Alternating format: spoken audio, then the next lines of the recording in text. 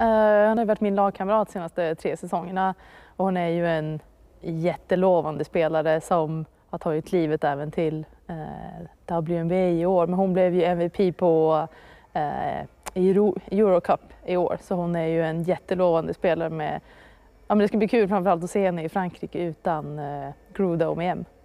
Vad, vad, är det du ser hos henne då? Vad är det som gör henne så stor? Mångsidig.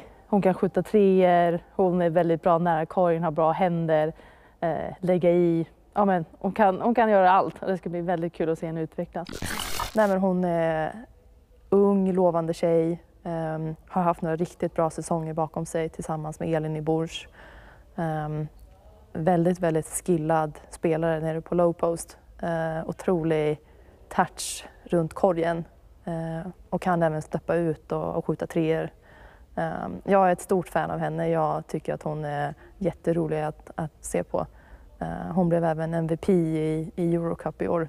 Um, så det är en fantastisk bedrift för att vara så pass ung. Ja, det ska vara kul att se henne i Frankrike utan Sandrine Gruda och Andy Miem. Uh, hon kommer få ta ett större ansvar. Det ska bli kul att se hur hon axlar det. Ett utropstecken under VM kanske? Ja, det tycker jag verkligen.